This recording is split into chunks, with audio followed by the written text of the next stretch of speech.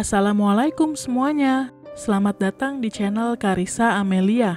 Di episode sebelumnya, kita akhirnya tahu siapa Derak sebenarnya. Miss Jennifer Black yang memiliki nama asli Julia Bakari, dulunya adalah seorang druid dari Kali. Demi membalas dendam pada Alpha Pack, Julia merubah namanya dan menyamar menjadi guru di Beacon Hills High School. Miss Jennifer juga telah mengungkap siapa sebenarnya Lydia. Ternyata gigitan Peter merubahnya menjadi makhluk bernama Banshee yang selalu mendapatkan pertanda akan kematian seseorang. Lalu bagaimana dengan nasib Sheriff dan Melissa yang kini disembunyikan oleh derak di bawah akar Nemeton? Apakah keduanya berhasil selamat atau malah menjadi tumbal pengorbanan Guardian? Sebelum aku menceritakan episode ke-11 dan ke-12, bagi yang suka dengan channelku jangan lupa untuk subscribe. Oke, kita langsung masuk ke alur ceritanya.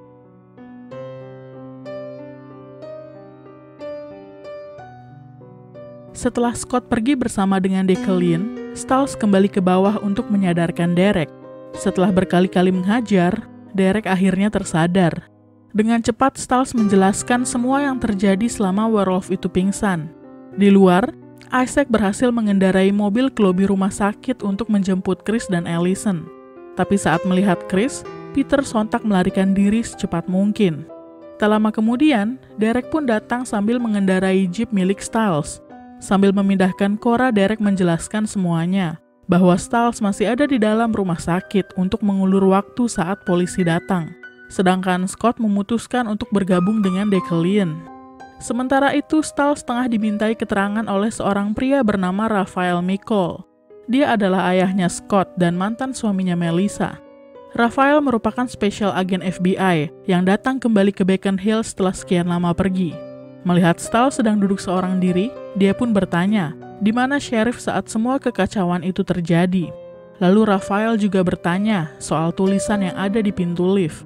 Sejujurnya Stiles nggak tahu tulisan apa yang dimaksud Raphael.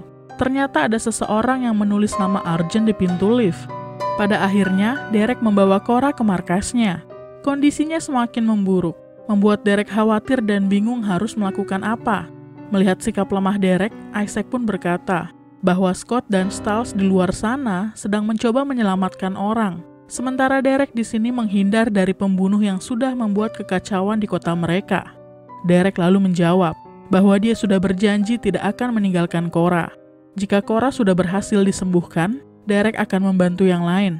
Mendengar jawaban seperti itu malah membuat Isaac semakin kesal. Mereka nggak punya banyak waktu.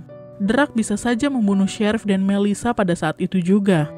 Esok paginya, Stiles datang ke penthouse mereka untuk memberitahu soal nama Arjen yang berada di pintu lift rumah sakit. Entah apa maksudnya, tapi Stiles menganggapnya sebagai sebuah peringatan. Stiles selalu menambahkan bahwa dia harus segera menemukan ayahnya dan Melissa karena kurang dari dua malam lagi, Blood Moon atau gerhana bulan total akan muncul. Pada saat itu semua kekuatan para werewolf akan menghilang. Derak pasti akan menggunakan momen itu untuk melakukan ritualnya, demi mengalahkan Alpha Pack. Tanpa mengulur waktu, Chris langsung menyusun rencana. Sementara itu, Derek terus berusaha menyerap rasa sakit pada tubuh Cora. Melihatnya, Peter sontak berkata bahwa Derek harus berhati-hati. Jika dia melakukan hal itu secara berlebihan, bukannya menyembuhkan Cora, tapi malah dia yang akan mati. Singkat cerita, Chris dan Allison telah mempersiapkan semua senjata yang mereka punya.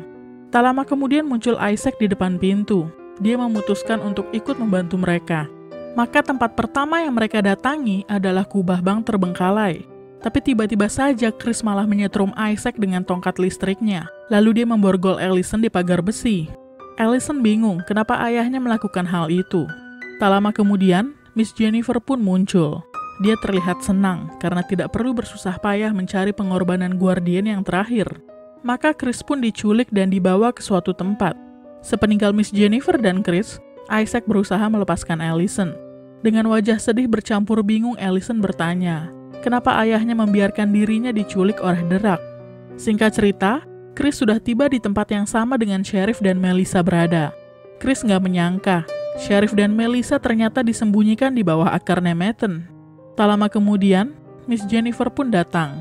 Semua senjata yang ada di tubuhnya kini sudah diambil oleh Miss Jennifer membuat Chris mati kutu karena tidak bisa melakukan perlawanan. Berpindah ke Styles, dia menceritakan soal Scott pada Lydia. Tapi Lydia yakin bahwa Scott nggak mungkin bergabung dengan Decalion. Styles juga ingin meyakini hal itu. Tapi saat melihat wajah putus asa Scott sewaktu di atap rumah sakit, sepertinya Scott memang sudah kehabisan akal. Di sekolah, Styles tiba-tiba menerima pesan teks dari Isaac yang memberitahu bahwa Chris diculik. Mengetahui hal itu membuatnya seketika diserang kepanikan hingga membuatnya sulit bernafas. Hal itu terjadi karena Chris lah satu-satunya harapan Stiles agar si ayah dan Melissa bisa diselamatkan. Tapi jika Chris ikut diculik, harus pada siapa lagi Stiles meminta pertolongan? Pada saat itu Lydia langsung membawa Stiles ke ruang ganti pria yang sepi. Dia meminta Stiles untuk memikirkan sesuatu yang bahagia untuk mengurangi kepanikannya. Tapi di saat seperti itu, Stiles tidak bisa berpikir dengan baik. Pada akhirnya, Lydia tiba-tiba menciumnya. Ajaibnya kepanikan yang Stiles rasakan sontak mereda dan menghilang seketika. Lydia bilang, di saat dia mencium Stiles, cowok itu sontak menahan nafasnya. Berhenti bernafas sejenak ternyata bisa meredakan serangan panik. Setelah itu Stiles teringat akan dokter Marin. Pada saat itu juga keduanya pergi ke ruangan konsultasi si dokter. Tapi ternyata dokter Marin belum datang dan tidak biasanya dia terlambat seperti itu. Stiles menduga, dokter Marin sepertinya bukan terlambat, tapi dia menghilang atau sedang melarikan diri. Stiles langsung mengecek laci mejanya untuk menemukan sesuatu. Dia menemukan berkas-berkas terapis milik Lydia. Saat mereka mengeceknya, ternyata selama ini Lydia selalu menggambar pohon, di kelas saat pelajaran atau saat terapi. Bahkan semua halaman pada buku tulisnya diisi dengan gambar pohon. Melihatnya Lydia tampak ketakutan. Merasa gambar Lydia itu seperti sebuah petunjuk, Stiles pun membalik gambar pohon tersebut. Ternyata selama ini, Lydia sebenarnya menggambar akar nemeton. Stiles yakin bahwa ayahnya, Melissa, dan Chris pasti disembunyikan di tempat itu. Sialnya di saat genting seperti itu, mereka malah bertemu dengan Raphael yang sedang menyelidiki sesuatu di sekolah mereka. Stiles langsung menyuruh Lydia untuk menemui Derek dan Peter, karena kedua orang itu tahu di mana keberadaan akar Nemeton. Sepeninggal Lydia, Rafael menghampiri Stiles untuk bertanya, kenapa mobil sheriff ada di parkiran sekolah sejak kemarin malam. Rafael akhirnya mengajak Stiles ke kelas kosong, mencoba untuk mengorek sesuatu yang Stiles tahu soal menghilangnya sheriff dan kasus pembunuhan yang belakangan ini terjadi di Beacon Hills. Bahkan Rafael sudah mencari tahu bahwa Scott saat ini sedang dekat dengan beberapa orang, seperti Allison, Isaac, bahkan si kembar Aiden dan Ethan. Tapi apa pun yang Rafael tanya, Stiles tetap memilih untuk diam. Hingga akhirnya Dr. Deaton datang untuk menyelamatkannya dari situasi itu. Singkat cerita, Lydia sudah tiba di markas Derek. Dia cukup terkejut saat melihat Peter yang membukakan pintu. Karena terakhir kali mereka bertemu, Lydia berada di bawah tekanan karena ancaman Peter. Saat Lydia bertanya soal keberadaan akar Nemeton, Derek dan Peter menjawab bahwa mereka lupa di mana tempat itu berada. Dulu, setelah kematian Paige, Talia memutuskan untuk mengambil ingatan Derek dan Peter agar mereka tidak kembali ke tempat itu. Beralih ke Dokter Marin, ternyata dia sedang dikejar oleh Alpha Pack. Dengan cepat Dokter Marin langsung memasang lingkaran abu gunung untuk pertahanan dirinya. Tubuh si kembar sontak terpental setelah mencoba menerobos lingkaran abu gunung tersebut. Tak lama kemudian Kali pun muncul, disusul Declan dan Scott. Alpha Pack mengejar Dr. Marin karena mereka baru tahu bahwa sosok Braden yang menolong Isaac di episode pertama ternyata cewek itu adalah kiriman Dr. Marin. Dia sengaja melakukan itu untuk menjaga keseimbangan. Dr. Marin tidak harus selalu mendukung semua tindakan brutal Alpha Pack. Di saat dia merasa sudah kelewat batas, Dr. Marin akan mencegahnya dengan caranya sendiri. Melihat Scott yang berada di antara Alpha Pack, Dr. Marin pun berkata bahwa sebaiknya Scott kembali ke teman-temannya, karena bergabung dengan Alpha Pack adalah keputusan yang salah. Decalion membunuh banyak werewolf untuk menunjukkan kepada anggota kelompoknya bahwa dia punya kuasa, bahwa Alpha Pack adalah kelompok manusia serigala paling sempurna.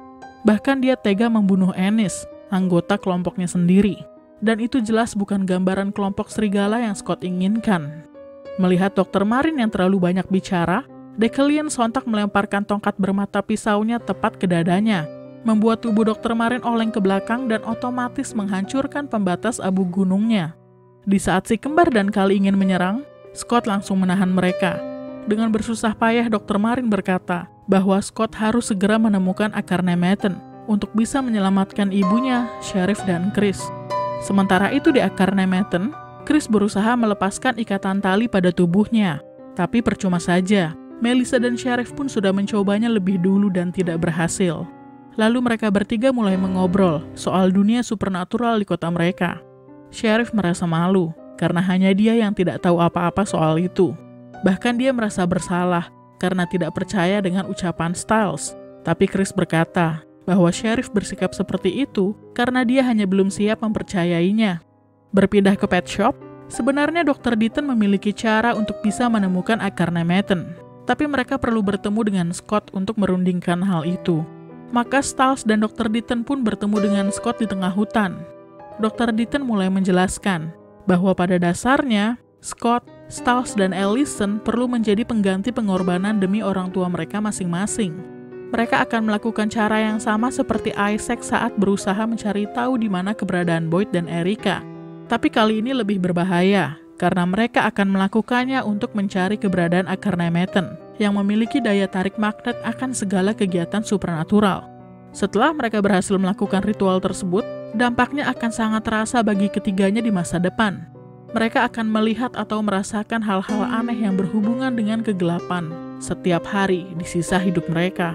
Dan yang paling menakutkan, kota Beacon Hills akan menjadi semacam suar atau portal bagi hal-hal supernatural lainnya. Itu artinya, ke depannya akan ada banyak hal-hal aneh yang terjadi di kota mereka. Kembali sebentar ke akar Nemeton, Chris tiba-tiba mengeluarkan emitter ultrasoniknya yang bisa digunakan untuk memanggil manusia serigala. Sementara itu, Derek terus berusaha menyerap rasa sakit pada tubuh Cora sebanyak mungkin, tanpa memikirkan konsekuensi pada tubuhnya sendiri. Singkat cerita, Dr. Deaton mulai mempersiapkan tiga bak berisi air es. Mereka bertiga harus membawa satu barang yang berhubungan dengan orang tua mereka. Stiles membawa lencana milik Sheriff, Allison membawa peluru perak milik Chris, sedangkan Scott membawa jam tangan milik ayahnya yang selalu disimpan oleh Melissa. Sebelum mereka bertiga masuk ke dalam air es, Dr. Deaton kembali menjelaskan bahwa mereka akan dibuat seperti mati sesaat. Sementara mereka di dalam air, akan ada yang menjaga mereka, yaitu seseorang yang memiliki hubungan emosional yang kuat dengan mereka bertiga. Saat Lydia ingin menghampiri Allison, Dr. Deaton malah menyuruhnya untuk menjaga Styles. Allison sontak bingung, karena satu-satunya orang yang pernah memiliki hubungan emosional dengannya hanya Scott tapi Scott pun harus ikut masuk ke dalam air es. Beberapa detik kemudian, Allison sadar bahwa belakangan ini dia semakin dekat dengan Isaac. Maka Isaaclah yang harus menjaganya, sementara Dr. Deaton akan menjaga Scott. Maka ritual pencarian akar Nemeton pun dimulai. Mereka bertiga sudah masuk ke dalam air es. Sebelum mereka ditenggelamkan, Stiles memberitahu Scott bahwa ayahnya sudah kembali ke Beacon Hills. Para penjaga sudah siap di belakang mereka. Perlahan tapi pasti, mereka pun ditenggelamkan.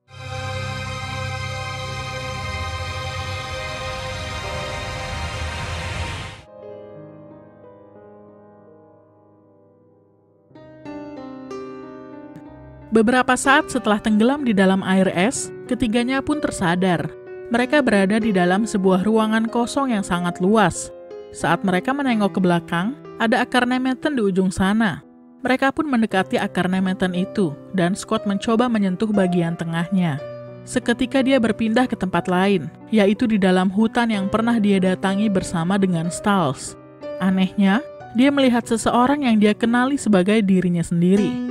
Bagai di Javu, Scott melihat dirinya yang dulu, di saat dia diajak oleh Stiles ke hutan untuk mencari potongan mayat. Lalu inhalernya hilang, dia terguling ke jurang dan bertemu dengan sosok serigala besar yang langsung menggigitnya. Di tempat itulah sebenarnya keberadaan akar Nemeton yang mereka cari. Bukan hanya Scott, Stiles pun melihat gambaran yang sama. Di saat mereka sedang mencari mayat di dalam hutan, tiba-tiba ada ayahnya yang memergokinya pada malam itu. Tak lama kemudian, Stiles pun menemukan akar Nemeton tersebut yang berada di belakangnya. Sementara Allison Ternyata mobil yang nyaris menabrak Scott sewaktu di season 1 itu adalah mobil yang dikendarai oleh Victoria. Allison sontak menyuruh si ibu memutar balik mobil mereka untuk mengecek keadaan orang yang nyaris mereka tabrak. Tapi Scott sudah tidak ada di sana. Allison mencoba masuk ke dalam hutan dan malah menemukan inhaler milik Scott. Dan di tempat itulah akar Nemeton berada. Sebenarnya, akar Nemeton tersebut berada di hutan yang selama ini sering mereka kunjungi. tapi mereka tidak menyadarinya karena akar tersebut jika dari atas hanya terlihat seperti tunggul pohon biasa. Ketiganya pada saat itu juga tersadar dan langsung keluar dari rendaman air es. Mereka mulai memberitahu apa yang mereka lihat. Kabar baiknya, akar nemetan ternyata tidak begitu jauh dari tempat mereka berada saat ini. Tapi mereka juga memiliki kabar buruk. Dr. Ditton memberitahu bahwa mereka bertiga berada di dalam air es tersebut selama 16 jam, dan bulan purnama akan muncul sekitar 4 jam lagi. Itu artinya, mereka hanya punya waktu sedikit untuk menolong Sheriff, Melissa, dan Chris. Beralih sebentar ke markas Derek, Cora sedang memberi minum pada Derek yang baru saja pingsan. Kondisi Cora kini terlihat jauh lebih baik, tapi masalahnya, kini tenaga Derek sudah terkuras habis bahkan sebelum dia sempat menghabisi derak ataupun alpha pack. Kembali ke pet shop, Stahl sontak melarang Scott saat sobatnya itu berniat untuk kembali menemui Decalion. Tapi anehnya, Dr. Ditton malah menyetujui niat Scott untuk tetap bersama dengan Decalion. Alpha itu memang musuh bagi mereka, tapi dia juga bisa dijadikan umpan. Tiba-tiba muncul Ethan yang ingin bertemu dengan Lydia. Dia ingin meminta bantuan Lydia dan mereka semua untuk mencegah Eden dan Kali yang berniat membunuh Derek malam itu. Maka Ethan dan Lydia pun langsung pergi ke markas Derek untuk memberitahu hal itu. Peter sontak menyuruh Derek untuk pergi meninggalkan Beacon Hills. Tapi Cora memiliki pendapat yang berbeda. Jika Derek ingin bertarung dan mati demi menyelamatkan orang lain, Cora akan merelakannya. Tapi Derek harus mempertimbangkan hal itu, karena Lydia baru saja melihat gambaran dirinya sedang berada di sebuah kuburan. Sementara itu, Scott, Allison, dan Isaac pergi ke penthouse Argent Family. Tapi di sana mereka malah bertemu dengan Raphael yang sedang berada di ruang kerja Chris. Scott sontak terkejut melihat si ayah yang sudah cukup lama tidak dia temui. Kembali ke markas Derek, Kali dan Eden sudah tiba di sana, tepat setelah Derek, Peter, dan Cora pergi. Kali mencoba bertanya di mana Derek bersembunyi, tapi Lydia malah mengejek kuku kakinya yang butuh perawatan. Kali sontak menggeram menahan amarahnya. Dan pada saat itu Eden melangkah maju, bersiap menentang Kali jika cewek itu berani menyakiti Lydia ataupun Ethan. Melihat sikap Eden, Kali langsung mempertanyakan di mana loyalitasnya sebagai anggota Alpha Pack. Tiba-tiba Miss Jennifer menerobos masuk dari atap untuk menantang duel Kali. Maka terjadi baku hantamlah di antara mereka.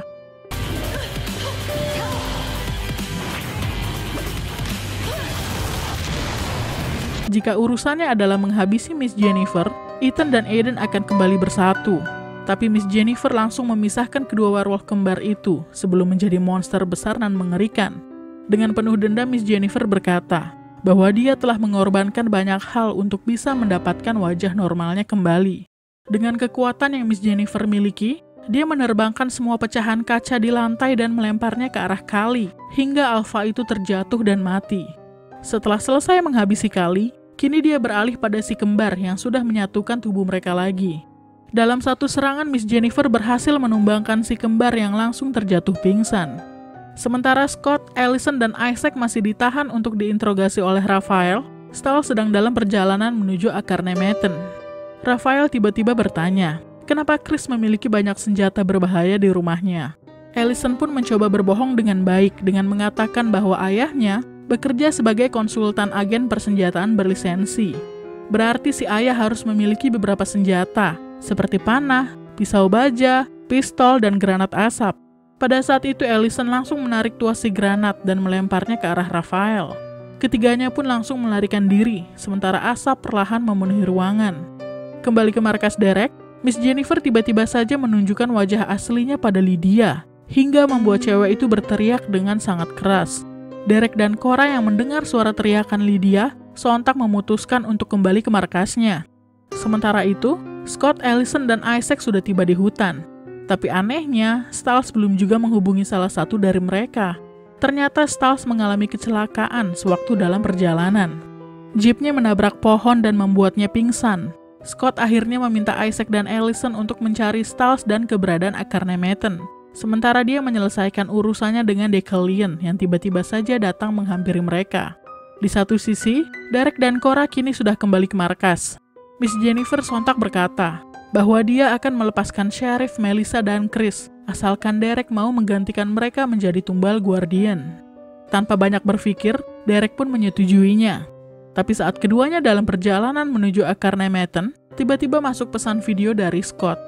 Ternyata dia dan Declan saat ini sedang menunggu Miss Jennifer di pabrik bekas penyulingan.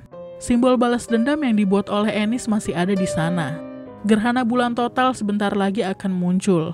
Miss Jennifer harus menggunakan momen tersebut untuk membunuh Declan.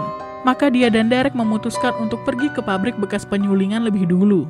Sepeninggal Miss Jennifer dan Derek, si kembar yang masih ada harapan untuk hidup akhirnya dibawa ke pet shop Dr. Deaton untuk mendapatkan perawatan. Seperti yang sudah terjadi berkali-kali, si kembar pun sepertinya sulit untuk menyembuhkan diri mereka sendiri. Berpindah ke Allison dan Isaac, keduanya akhirnya menemukan tunggul pohon dari akar Nemeton, karena Isaac menangkap sinyal dari emitter ultrasonik milik Chris. Mereka langsung masuk ke dalam ruang bawah tanah tersebut. Tapi pada saat itu, tanah di atas mereka perlahan amblas ke bawah. Isaac dan Allison sudah berhasil melepaskan ikatan tali mereka. Tapi sayangnya tangga yang menuju ke atas sudah runtuh dan hancur.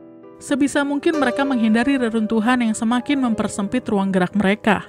Pada saat itu, Isaac mencoba menopang atap kayu di atas mereka yang hampir runtuh.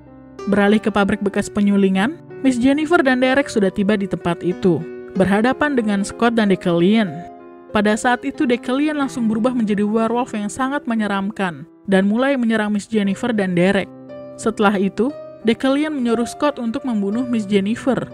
Dengan begitu, Scott akan menjadi alpha sekaligus werewolf pembunuh yang Declan harapkan selama ini. Masalahnya, Scott hanya ingin menghentikan rencana jahat Miss Jennifer, bukan ingin membunuhnya.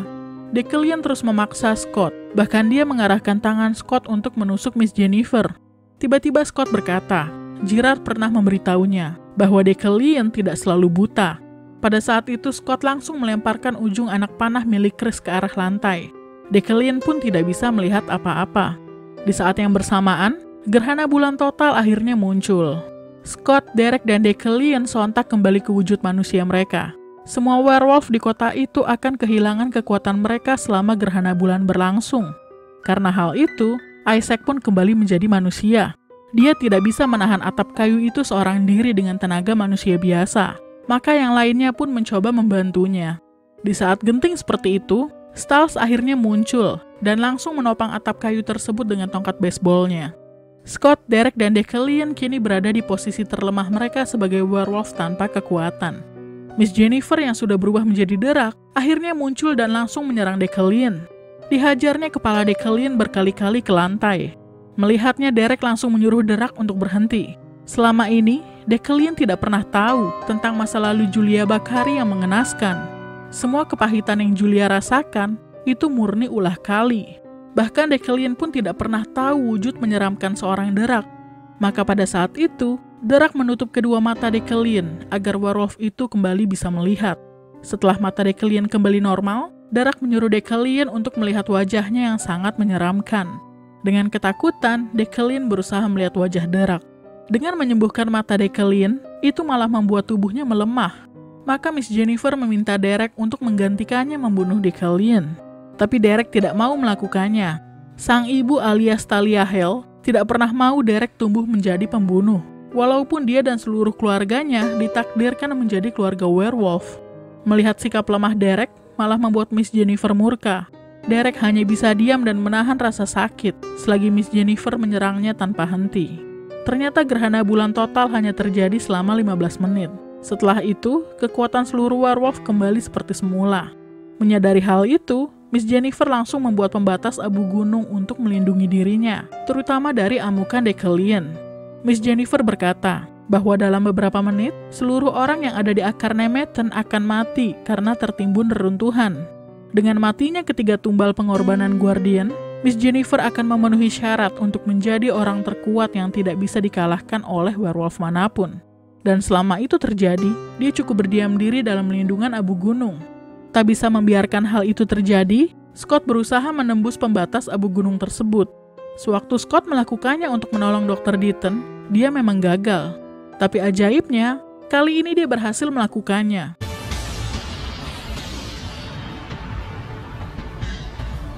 Miss Jennifer, Derek, dan Declan sontak terkejut melihatnya. Kini Scott resmi menjadi True Alpha, dan dia mendapatkan hal itu tanpa harus membunuh orang lain. Melihat ada kesempatan, Declan langsung menyerang Miss Jennifer tepat di lehernya. Pada akhirnya, tamatlah riwayat Julia Bakari alias Derak. Dengan jatuhnya derak, badai yang membuat akar Nemeton nyaris rubuh akhirnya berhenti. Dan ajaibnya, si kembar pun tiba-tiba sembuh. Bisa dikatakan ritual pengorbanan buatan derak gagal total. Setelah semua kejadian tadi, Derek dan Scott memutuskan untuk melepaskan Decalion. Mereka tahu Decalion menjadi jahat karena ulah Gerard yang sudah merusak matanya. Tapi mata Decalion kini sudah sembuh dan normal kembali. Derek dan Scott berharap Decalion bisa menjadi dirinya yang dulu lagi yang cinta akan kedamaian dan tidak suka membunuh. Singkat cerita di penthouse Argent Family, tak sengaja Ellison melihat Chris sedang menyimpan senjatanya kembali ke tempat penyimpanan. Ellison pun memberitahu si ayah soal ucapan Dr. Deaton, bahwa dampak dari melakukan ritual pencarian akar Nemeton membuat kota Beacon Hills menjadi semacam suar atau portal bagi hal-hal supernatural lainnya. Itu artinya, ke depannya akan ada banyak hal-hal aneh yang terjadi di kota mereka. Menyadari hal buruk seperti itu akan terjadi, Ellison berharap bahwa mereka sebagai keluarga pemburu yang memiliki banyak persediaan senjata seharusnya menjadi barisan terdepan untuk menolong kota mereka. Bahkan Ellison ingin kembali mengasah kemampuannya agar menjadi petarung yang lebih baik lagi. Sudah saatnya Arjun Family memiliki prinsip yang baru. Entah bagaimana Chris merasa setuju dengan ucapan Ellison. Chris pun akhirnya menyebutkan prinsip baru keluarga mereka, yaitu kita melindungi siapa pun yang tidak bisa melindungi diri mereka sendiri. Jika itu keputusan Chris dan Ellison, berbeda dengan Derek dan Cora yang memutuskan untuk meninggalkan Beacon Hills. Sebaliknya, Raphael memutuskan untuk tinggal bersama dengan Scott dan Melissa sementara waktu. Walaupun rasanya masih sulit bagi Scott untuk menerima kehadiran si ayah. Scott kini seorang alpha, tapi kelompoknya sudah terbentuk dengan sendirinya sejak dulu.